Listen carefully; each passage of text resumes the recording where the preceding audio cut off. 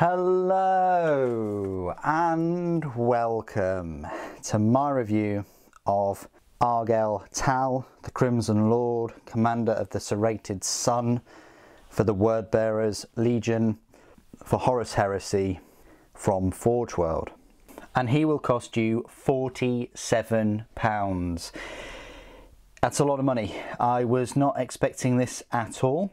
Uh, I was expecting him to be um, most likely falling in line um, with uh, some of the other characters uh, of this size that have, you know, better, beefier um, sort of bases, such as Sigismund, who is forty-seven pounds, and yes, he's only sort of um, you know Space Marine size. He does have a, a whopping detail base, and that's the same for um, well, even uh, Dynat as well, you know, and um, Alexis uh, Polux, as well as um, Khan. Uh, I know that a couple of those models are uh, a bit older now, uh, but still, it did surprise me Forge World setting the price at um, £47 for him. And I was kind of uh, expecting him to be 38, considering he hasn't really got a, a, a scenic base. I mean, yes, one can argue that he does have, uh, you know, an Ultramarines um, Space Marine, uh, you know, as part of the, the model, but still, yeah, in terms of the size of the wings, uh, I wouldn't really necessarily class them as kind of functional, more of an intimidation factor. Maybe he can beat them to move quicker when he's, uh, he's stomping around, when he's moving around. I don't know. Um, but yeah, I don't think you can use him as a as a demon prince. He's not quite uh, uh, as big as one and doesn't have that kind of presence. You're only getting eight pieces for the Mini as well. I think I built him in one of the live streams, uh, so uh, if you just uh, look at the live stream playlist, it's probably uh, going to be there. Uh, the rules for him, Forge World, have thankfully put the rules on their web store um, under downloads on his page uh, where you can buy him.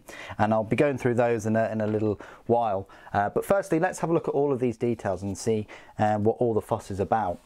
So as I say he's eight pieces um, goes together you know relatively well. You you might have some uh, issues with the wings and they don't go even though they're a plug and socket some of the mutations and things they don't match up um, sort of at the back and at the front at the same. So, for instance, if I was to, when I was building him, if I was to move the um, wing connections to, to match, to join, then there would be a bigger gap at the front.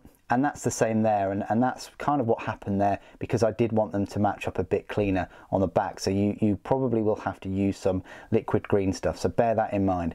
Everything else went together very well. The head, the arm, um, uh, this arm with the uh, with the ultramarine on, uh, the legs and the torso are all one piece. Um, and then you've got this, uh, I say scenic base, it's just the other half of the uh, ultramarine. I love how um, you've got loads of like intestines and things coming out of him, spilling everywhere. There's going to be a lot of blood and gore that I'm going to be um, painting on this. Um, it's obviously going to be very difficult to get in there now, but uh, but still. Uh, and again, it's up to you if you want to um, you know leave off this left wing I would leave off the left wing uh, so that you can actually paint it, paint it all in there. Um, I'm now contemplating breaking off the wing and painting it separately. Um, but the right wing, at least, you can, um, you know, get to and, and uh, paint some detail. But yeah, speaking of the detail, the wings are lovely. Um, they're not ripped or damaged, uh, but they are nice and veiny. Um, and you've got the fingers there, the bony fingers on, on the wings.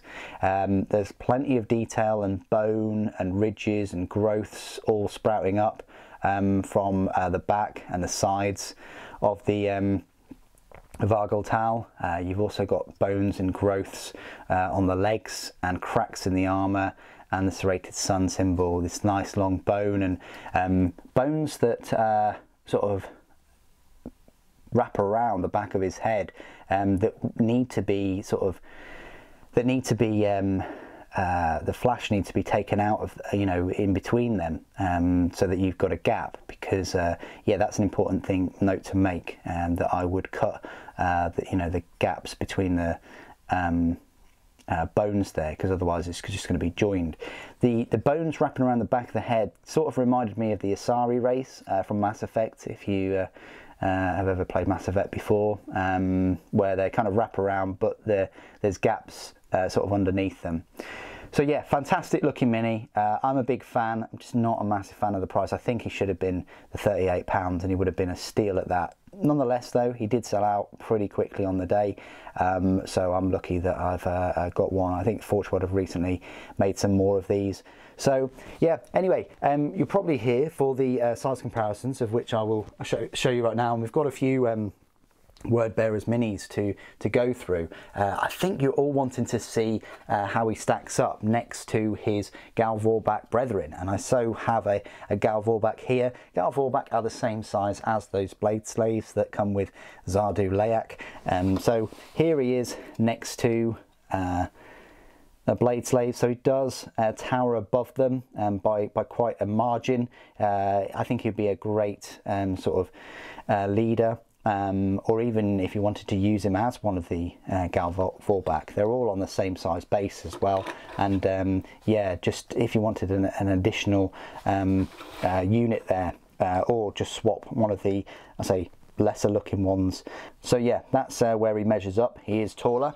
Um, next to, I don't know, like a word bearer's uh, Praetor uh, with this the, the Bone Hawk, he, he towers above one of those, but if you wanted to use them both in the same sort of uh, list. Um, the Bone Hawk uh, Space Praetor comes up to about chest level, I'd say almost. Um, but yeah, does dwarf like your normal Space Marines. Um, I think I've got one here in iron armor. Um, so yeah, he's he's going to be a a target, I guess. Um, you're going to be able to spot him quite easily on the battlefield. Next to the word bearers, uh, uh, Terminator Praetor, he's going to be a fair bit bigger than one of those and we've also got um, the specific word bearers Dreadnought so that's where he measures up uh, next to to that um, and then uh, we've got Lorgar himself now this is an interesting one because if you kind of take that base off, he's almost as big as um, Lorgar. I mean, yeah, let's face it, Lorgar is a, you know, one of the oldest uh, Primarchs. Um, but yeah, compared to the the Primarch, he's I'd say almost the same size, minus that scenic base. So that gives you an idea. I mean, you know, Lorgar doesn't have his, his big base here at the moment, um, but uh, that gives you some idea of um, you know the size of Argel Tal. The last three size comparisons I always like to make, um, which I didn't do for the Imperial Fist tours, but I'll do do them here. Um, is with the Primaris uh, Space Marine, so from you know 41st millennium, uh, with a normal Space Marine and uh, with Sly Marbo. Yes, Argel Tal towers above uh, all three, um, but yeah, compared to a Primaris, much much taller thanks to all the Chaos uh, mutations and things. So, and yeah, here's one of the, and yeah, here's one of the uh, firstborn. So I hope those size comparisons have helped. Okay, this is my part of the review where I will go through all of his rules and he does have some uh, juicy rules on um, Forge World's own web store. He will cost you 185 points. He may be chosen as an HQ choice in a word bearer Space Marine Legion army and the unit may only be taken as part of a traitor faction army. His stat line reads weapon skill 6, ballistic skill, strength and toughness are all 5 He's got four wounds, initiative five, five attacks, leadership 10, and a save of two plus. The unit type, he's a jump infantry character. So he can move around as if he's got a jump pack. War gear. He's got artificer armor, demonic claws, frag and crack grenades. We'll talk about the demonic claws in a moment. Special rules. He has master of the legion. Very important that. Independent character, demon, very bulky, rage, stubborn, damned, warlord. If Argel Tal is your army's warlord, he has the master of the Vakrah Jal warlord trait rather than rolling randomly. Note that although Argel Tal does not have the Legiones Astartes Wordbearer special rule, an army that has him as its warlord may still select Wordbearer's Legion specifics rights of war. There you go. So, what's this warlord master of the Vakrah Jal? Well, an army whose warlord has this trait may select Gal Vorbak Dark Brethren units as troop choices. In addition, while a warlord with this trait is part of a unit composed entirely of models with the demon special rule, the warlord and all models in the unit it has joined gain the Feel No Pain special rule. That's fantastic. I only wish Games Workshop made uh, 20 Gal Vorbak in plastic.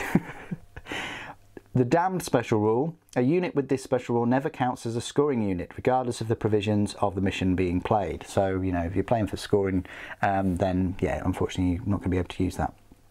Demonic Claws.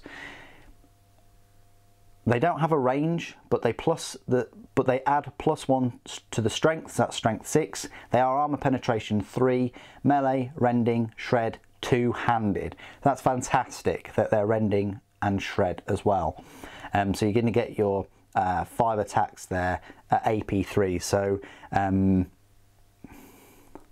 so Argel will be ripping through um, Space Marine equivalents at the strength six AP3, uh, which means they won't get a save. They'll just be um, ripped apart. It's sort of a shame it's not AP2, uh, you know, so we could rip apart Terminators and, dare I say it, Custodes. Sorry for you Custodes lovers out there, um, Henry Cavill. But AP3 is still quite nice and um, still going to do a fair amount of damage uh, ripping through normal Space Marines. And that's pretty much it for my uh, review of Argel Tal. Uh, what do you guys think of the model and the rules? Please do put your thoughts and opinions down in the comments below. It'd be great to hear from you. Thank you ever so much for joining me today. Thank you for watching. Death to the False Emperor.